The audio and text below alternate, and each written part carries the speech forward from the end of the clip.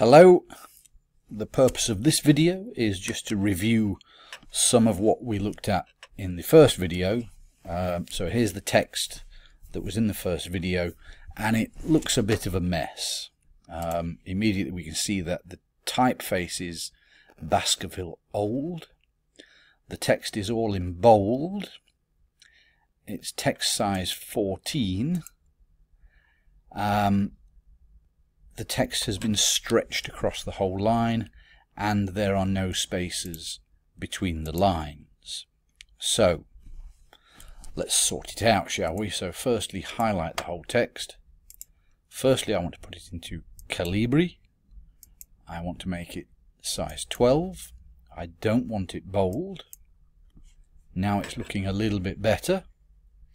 Um, I want to left justify the text and that's looking quite a lot better now. Make it double line spaced. And lastly we can see that I've got some hyphens in there resources suitable. So I need to come into page layout hyphenation and none. And that tidies that up Last thing, I've still got one or two spelling mistakes, so uh, succeed if I right click on the mouse, succeed, and studnet becomes student. The text has been tidied up. Now, second point of this talk is if you wish to add pictures, um, which you may need to do in some of your coursework. So, to add a picture, we need to insert and a picture. So these pictures are saved on your computer. Let's add a, a nice picture of my bicycle, like so.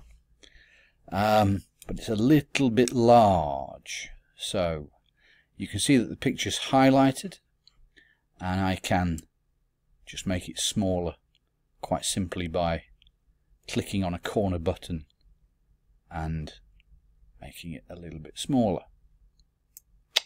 Like that. Maybe I decide that I don't want to see the the clouds in this picture.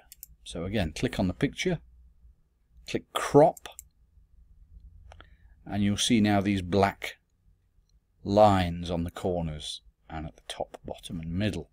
So if I want to I can just do that to get rid of the uh, the grey clouds there and then it looks a little bit tidier. I can also perhaps pull in the corner as well, like so. So my picture is now a little bit smaller. Um, now perhaps I want to put the picture into this area here so that it's clear that the text refers to the picture. So if I click on the picture, if I move it, to there, it looks a little bit of a mess. So again, click the picture. And then here we've got wrap text. And at the moment, the default is in line with text. If I click on tight or square, then I can move the picture and the text will sit around the picture. And it looks quite nice and it's clear then that the picture refers to that part of the text. Um, if I want to make the picture bigger, I can just stretch it down from the corner or from the middle.